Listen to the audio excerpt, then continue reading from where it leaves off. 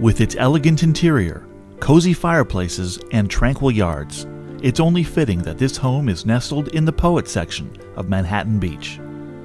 Set on a large corner lot in a quiet neighborhood near great schools and parks, this three bedroom, two and a half bath home has a gorgeous flow from the formal living room and dining room, both of which share a two sided marble fireplace, to the more casual kitchen and family room with brick fireplace. The home's three bedrooms and two bathrooms are nestled upstairs for privacy.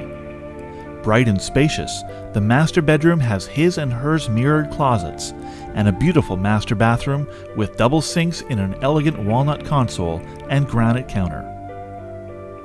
Beautiful French doors off the dining and family rooms open to the gorgeous, lush backyard, perfect for parties.